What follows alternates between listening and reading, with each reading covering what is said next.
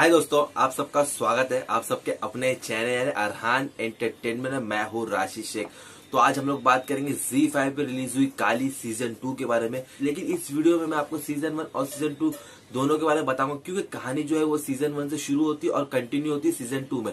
तो इसलिए आपका सीज़न वन देखना बहुत ज़रूरी है, लेकिन उससे पहले आपका ये वीडियो देखना बहुत ज़रूरी है, क्योंकि उसके बाद आप लोग डिसाइड कर पाओगे कि ये सीरीज़ आपको देखनी चाहिए या नहीं चाहिए। तो चलिए शुरू करते हैं हमारा आज का वीडियो लेकिन उससे पहले मैं आप लोगों से रिक्वेस्ट करता हूँ अगर आप हमारे चैनल पर फ़र्स्ट टाइम विज़िट करो चैनल को सब्सक्राइब करो। तो साथ ही बेल आइकन उसे भी कर देना प्रेस और हाँ अगर ये वीडियो आपको अच्छा लगता है तो इस वीडियो को ज़्यादा शेयर ज़रूर करना।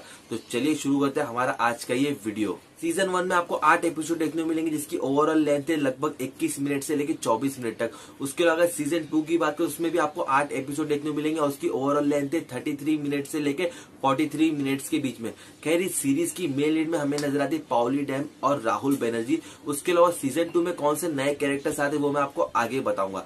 खैर, इस सीरीज़ की कहानी की बात करते हैं कहानी शुरू होती है कोलकाता से, जहाँ पे हमें नज़र आती है पाउली डैम जिसका इस सीरीज़ में नाम है काली वो यहाँ पर रोल प्ले करे एक मदर का, वो अपने बेटे के साथ रहती है, लेकिन वो अपने हस्बैंड के साथ सेपरेट हो चुकी है, क्योंकि उसका हस्बैंड कुछ इलीगल एक्टिविटीज़ में इन्वॉल्व रहता है हमेशा, कि वो अपने हस्बैंड के साथ रहना पसंद नहीं करती है। लेकिन कहानी में ट्विस्ट तब आता है जब एक ही दिन में उसका हस्बैंड इन्वॉल्व हो जाता है एक मर्डर केस में, उसके अलावा उसके बेटे का भी उसी दिन एक्सीडेंट हो जाता है। अब उसको किसी भी तरह से 12 घंटे में 6 लाख की ज़रूरत है, ताकि वो अपने बेटे का ऑपरेशन करवा सके। उसके बाद क्या कुछ होता है, किस तरह 12 घंटे में 6 लाख रुपए का इंतज़ाम करती है, उसके बीच में उसके बाद लाइफ में क्या कुछ होता है, ये सब कुछ जानने के लिए आपको ये सीरीज़ देखनी पड़ेगी। अब बात करते हैं कि सीरीज़ में मुझे पर्सनली क्या अच्छा लगा और क्या बुरा लगा। तो यहाँ पर मैं अपने व्यूअर से ये पूछना चाहूँगा कि आपने लास्ट टाइम ऐसी कौन सी बंगाली वेब सीरीज़ देखी थी जो आपको स्टार्ट से लेकर एंड तक इंगेज रखी हो?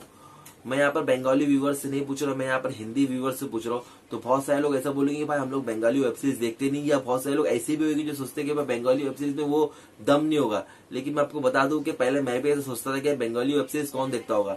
लेकिन जब मैंने ये सीरीज़ को देखा हो लिटरली मैं आप लोग से इतना कह सकता हूँ कि स्टार्ट से लेकर एंड तक मैं जगह से हिला नहीं हूँ। चाहे वो सीज़न वन हो या सीज़न टू हो।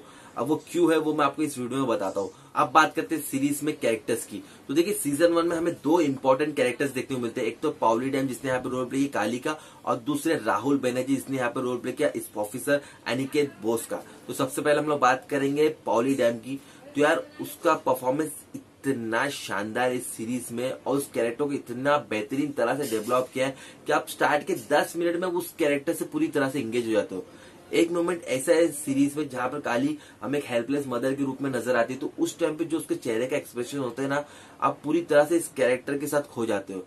और एट द सेम टाइम जब वो अपने दुश्मनों से लड़ती है तो उसकी आँखों में जो आग होती है ना तो उसकी वजह से आपको भी डर महसूस होता है। और वाकई में आपको माँ काली उसके अंदर नज़र आती है, सच बता रहा हूँ। और उस एक्ट्रेस ने इस तरह से परफॉर्मेंस किया कि आप उसकी जितनी तारीफ़ करो, इस सीरीज़ के लिए कम है। और उसके अलावा राहुल बनर्जी की बात करो तो उसका काम भी मुझे इस सीरीज़ से बहुत अच्छा लगा। और स्पेशली यहाँ पे पावली डैम और राहुल बनर्जी के बीच की जो केमिस्ट्री थी, वो इस सीरीज़ की एक मेन जान है।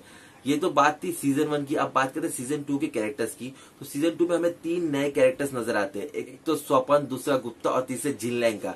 इन एक्टर्स का रोल यहाँ पे प्ले किया चंदन रॉय ने, विद्या मालवाड़े ने और अपने अभिषेक बैनर्जी ने। तो सबसे पहले हम लोग बात करेंगे चंदन रॉय की। कैरेक्टर का नाम है यहाँ पे स्वपन। वो हमारे इस सीरीज़ का one of the main characters में से एक है और मैं आपको इतना कह सकता हूँ कि उस एक्टर ने बहुत ही अच्छा काम करके दिखाया। ऑल उसने बॉलीवुड में कई फ़िल्में कर चुका और मैं आपको बता दूँ, वो भी एक बेहतरीन एक्टर्स में से एक है और इस सीरीज़ में भी उसने बहुत ही शानदार काम करके दिखाया। उसके अलावा विद्या मालवाड़े उनकी मैंने सिर्फ़ छक दे इंडिया देखा था उसमें बिचारी ने काम अच्छा की थी, लेकिन इस सीरीज़ में भी उन्होंने ठीक ठाक परफॉर्मेंस दिया है। अब बात करते हैं अभिषेक बैनर्जी की। तो देखिए, पाताल लोग में उन्होंने रोल प्ले किया था हथौड़ा त्यागी का। तो जो कसर उन्होंने वहाँ मिस कर दी थी, वो कसर उन्होंने यहाँ पूरी की है। यहाँ पर उनको और एक्टिंग करने का मौका मिला। मैं आपको इतना कह सकता कि वो हमारे इंडिया के नए उभरते एक्टर्स में से एक है। और स्ट्रीम मूवी में जहाँ पर वो हमें कॉमेडी करते हुए नज़र आए थे, लेकिन यहाँ पर जो उनका इंटेंस रोल है, वो पूरी तरह से आपको मतलब क्लीन बोल्ड कर देंगे यहाँ पर। ऑल मैं आपको कह सकता कि ये सीरीज़ पूरी तरह से पॉली डैम की है, लेकिन फिर भी ये जो कैरेक्टर है ना, वो सीरीज़ में जो मज़ा है ना, वो मज़ा बरकरार रखते हैं। उसके अलावा मैं सीरीज़ की सिनेमाटोग्राफी की बात करूँगा। तो हर एक सीन इतना बेहतरीन तरीके से यहाँ पे शूट किया गया कि मतलब आपकी नज़र सिर्फ़ स्क्रीन पर रहती है। हर एक सीन को इतनी बेहतरीन तरह से शूट किया कि मतलब आपको कहीं से भी कुछ कमी नज़र नहीं आएगी।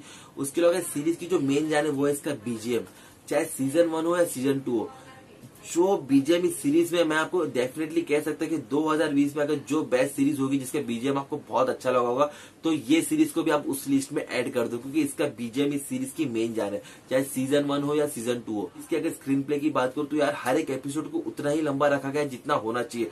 और इस तरह से इस शो को एडिट किया ना यार, मुझे पर्सनली बहुत अच्छा लगा। उसके अलावा इस शो के डायरेक्शन की बात करो तो डायरेक्टर का एक सिंपल सा विजन ये था उसको अपनी ऑडियंस को किसी भी तरह से एंगेज रखना है स्टार्ट से लेके एंड तक। और वो इस चीज़ में कामयाब होता है। सच बता रहा हूँ, मैं फ़र्स्ट एपिसोड से लेके सिक्सटीन एपिसोड तक, यानी कि सीज़न वन और सीज़न टू मैंने एक साथ देखा इसलिए मैं आपको बता रहा हूँ, मैं एक मोमेंट भी ऐसा नहीं था जहाँ पर मैं बोर हुआ।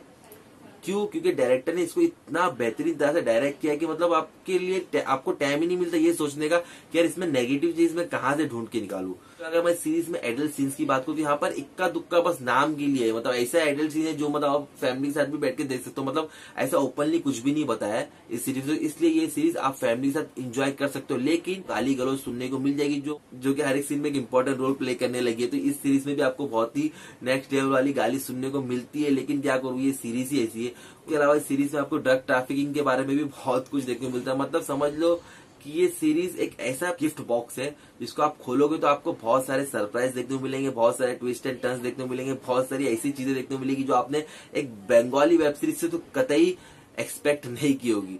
मैं तो आपको सिर्फ़ इतना कह सकता हूँ कि ये सीरीज़ देखे मुझे पर्सनली बहुत अच्छा लगा। आई होप आप भी ये सीरीज़ को एंजॉय करोगे। अगर आपको ये सीरीज़ देखते हो तो आपको जी ऐप पर जाना पड़ेगा। वहाँ पर आपको ये हिंदी और दूसरे अदर्स लैंग्वेज में देखने को मिल जाएगी। तो सीरीज़ की लेंथ ज़्यादा है नहीं। आप एक ही दिन में पूरे दोनों सीज़न देख सकते हो। मैं इस सीरीज़ को रेटिंग दूँगा एट आउट ऑफ़ टेन तो ये सीरीज़ आप लोग को डेफिनेटली देखना ही चाहिए। तो यार बस इस वीडियो में इतना है। अगर आपको वीडियो पसंद आए तो वीडियो को लाइक करना चैनल को सब्सक्राइब करना और जो साथ ही बेल आइकन उसे भी कर देना। प्लस मैं मिलूँगा नेक्स्ट वीडियो में। तिल देन